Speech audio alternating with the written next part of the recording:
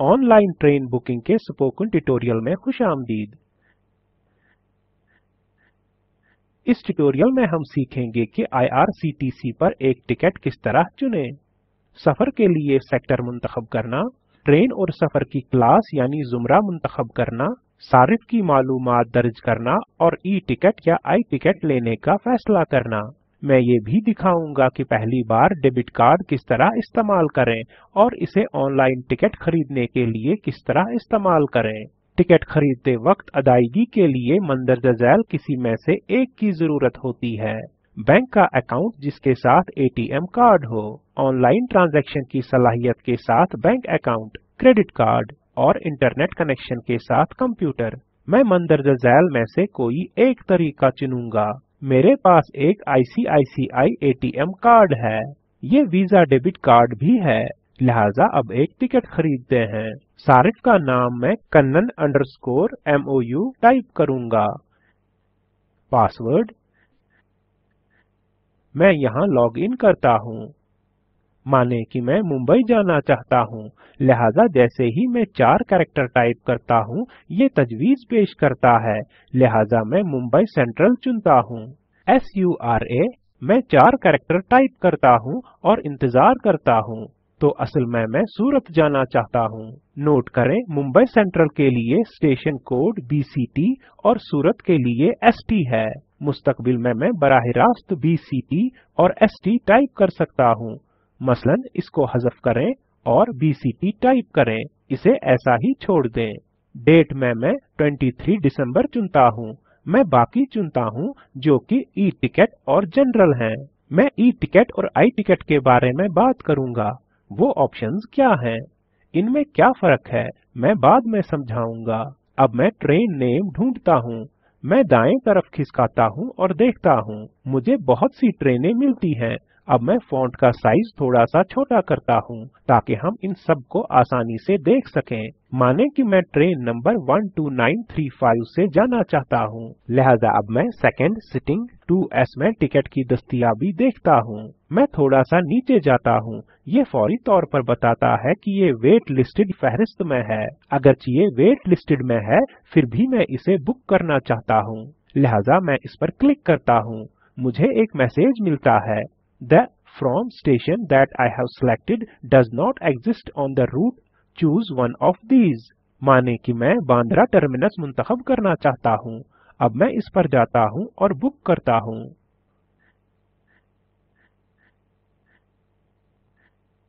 अब नाम मैं कन्नन मदगलिया टाइप करता हूँ एज में 53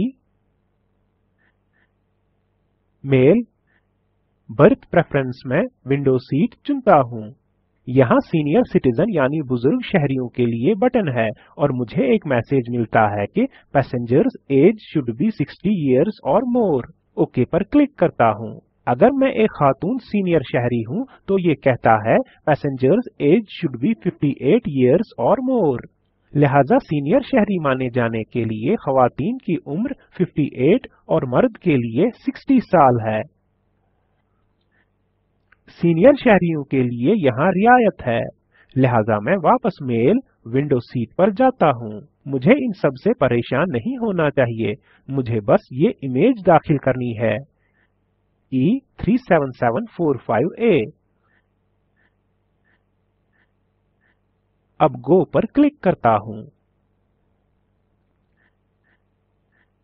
ये तफसीलात फराहम करता है और बताता है कि कुल रकम 99 है। अब मुझे रकम अदा करनी है। मेक पेमेंट पर क्लिक करता हूँ।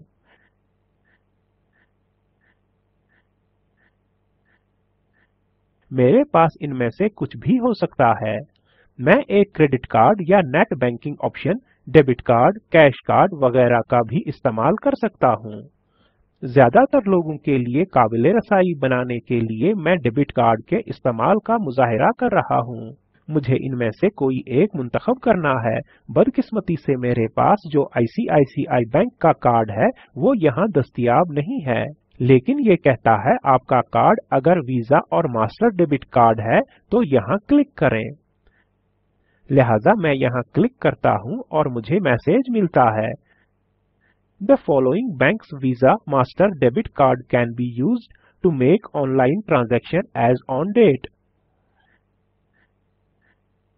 ICICI bank list किया जाता है। अब मैं इसे बंद करता हूँ। मैं इनमें से एक चुनता हूँ। मैं वीज़ा मास्टर कार्ड चुनूँगा। तो कार्ड टाइप वीज़ा है। मेरे पास जो एटीएम कार्ड है, मैं इसका नंबर नहीं दिखाऊँगा। आपको 16 हिंदसों का नंबर दर्ज करना है, जो आपके डेबिट कार्ड पर है। और फिर क्रेडिट कार्ड एक्सपायरी और फिर सीवीवी नंबर। जिसमें तीन अदद का नंबर है आपके कार्ड के पीछे। आखिरी तीन डिजिट्स आपके दस्तखत के आगे। ये मालूम दर्ज करने के बाद मुझे बाई बटन दबाना है। मैं अभी ये करता हूँ। मुझे आईसीआईसीआई बैंक से ये मैसेज मिलता है। मुझे validity date date of birth और एटीएम पिन दर्ज करना है। इस कार्ड को ऑनलाइन अदायगी में रजिस्टर करने के लिए। मैं इसे थोड़ा बड़ा करता हूँ जिससे आप देख सकें कि ये क्या है। मैं इन सबको दाखिल करूँगा, लेकिन मैं आपको नहीं दिखाऊँगा। जैसे ही मैं ये करता हूँ, मुझे यहाँ दिया हुआ एक मैसेज मिलता है। अब मैं एक छह अदद का नंबर दर्ज कर रहा हूँ। मुझे ये मुनासिब तरीके से मुंतखब करना है। ये आसान होना चाहिए, जिससे मुझे याद रहे। लेकिन दूसरों के लिए इतना आसान भी नहीं होना चाहिए। मुझे ये दो बार टाइप करना है। इस बात का यकीन करने के लिए कि मैंने पासवर्ड मुनासिब और सही तरीके से बनाया है। ये टाइप करने में गलतियों को बचाएगा। याद रखें कि ये पासवर्ड आपको सिर्फ़ एक बार ही बनाना है। अब से आप अपने डेबिट कार्ड के साथ इस पासवर्ड को इस्तेमाल करेंगे। अब सबमिट पर क्लिक करता हूँ। मुझे मैसेज मिलता है congratulations the ticket has been booked note करें पीएनआर नंबर के साथ टिकट के बारे में सारी मालूमात भी दी गई हैं, जो हमें अपना सफ़र शुरू करने से पहले पता करने में मदद करेगा कि क्या हमारा वेट लिस्टेड टिकट कंफर्म यानी यकीनी हुआ है या नहीं।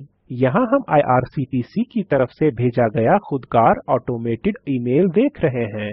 यहाँ टिकट की तफसीलात हैं। अगर आप चाहें तो इसका प्रिंट ले सकते हैं। अब स्लाइड पर वापस जाते हैं। मैं अपनी स्लाइड पर वापस आ गया हूँ। आगे क्या करना है? आप इस टिकट का प्रिंट ले सकते हैं।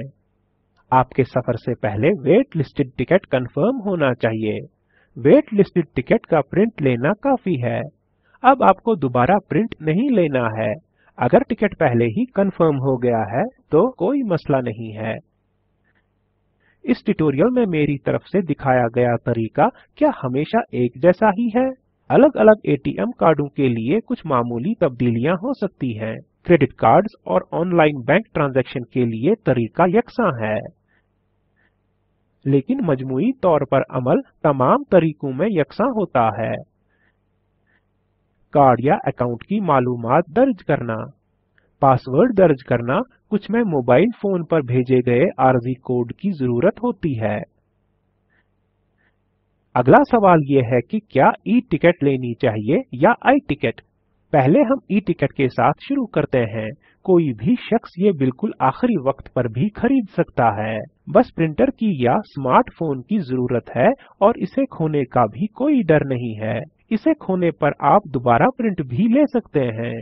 सफ़र के वक्त आइडेंटिटी प्रूफ यानी शिनाख्त के सबूत की ज़रूरत होती है। इसके बरक्स आई टिकट आपको पचास रुपए के इवज कोरियर से भेजा जाएगा। डाक के ज़रिए वसूल करने के लिए आपके पास दो से तीन दिन तक होने चाहिए। डाक के ज़रिए से तकसीम कारी तमाम शहरों और गाँवों में दस्तियाब नहीं है। कैंसलेशन यानी मनसूखी सिर्फ़ टिकट काउंटर पर ही हो सकती है। अगर आप एक आई टिकट के साथ सफ़र कर रहे हैं तो आपको आइडेंटिटी प्रूफ की कोई ज़रूरत नहीं है। आइडेंटिटी प्रूफ यानी शिनाख्ती सबूत क्या होता है? हुकूमत की तरफ़ से जारी किया गया तस्वीर के साथ PAN card election card, driving licence या पासपोर्ट, ये इनमें से कुछ भी हो सकता है।